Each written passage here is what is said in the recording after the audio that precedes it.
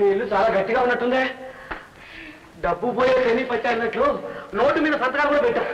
డబ్బు చేతికి రాకపోయినా ఆ విధంగా వెయ్యి రూపాయలు కట్టాలి కర్మ. అందుకే అన్నారు దరిద్రుడి పెడికి వడగలవాలని అవును వాళ్ళు నన్ను ఎత్తుకెళ్తుంటే గుడ్ల బిగించి చూస్తావేంటి? అసలు మగాడివేనా మగాడినే వాళ్ళు కూడా మగాడిగా మరి? పైగా వాళ్ళ చేతిలో పిస్టల్స్ ఉన్నాయి.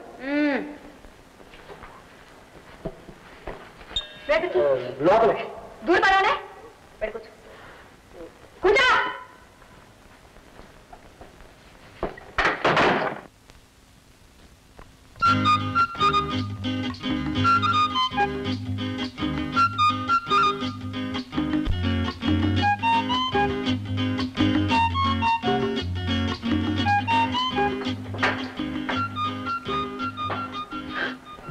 ఏమిటిది?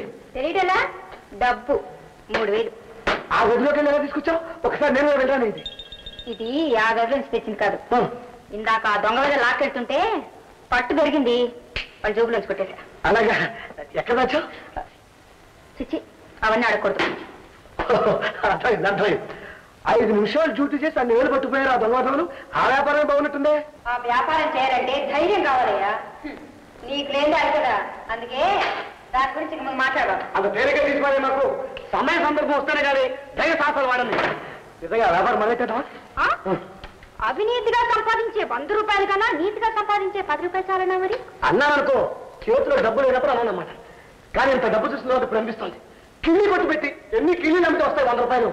డబ్బు సంపాదించడానికి రాజమార్గం చూపించారు ఆ దొంగ విధవలు. ఆ రూట్లో వెళ్ళిపోదామా?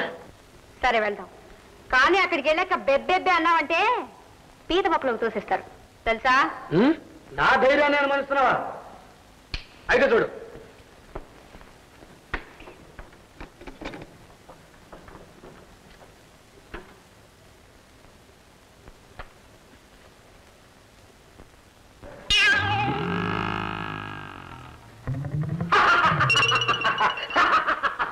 ఎక్కడ వాళ్ళు అక్కడ చేతులెత్తి పడుకోండి. కదిలారంటే కాచి పారేస్తాను. నవ్వెందుకు నాయనా? ఆనందం అన్నమాట సినిమాలో వేరే నవ్వరు అలాగా అలాగా. సినిమాలో విల్లలని నిజ పోలీసులు పట్టుకోరు. ఇలాగే నవ్వేవో పోలీసులు వచ్చి గౌరవంగా పట్టుకు తీసుకెళ్తారు. అయితే నమ్ము క్యాన్సిల్ ఇప్పటికైనా నమ్ముతున్నావా మన ధైర్యాన్ని? రిహార్సల్స్ పర్వాలేదు కానీ నిజంగా ఎలా చేస్తావో మరి. మన మొదటి వీరోచిత కార్యం ఎప్పుడు? ఈ రాత్రికి. ఈ రాత్రికి.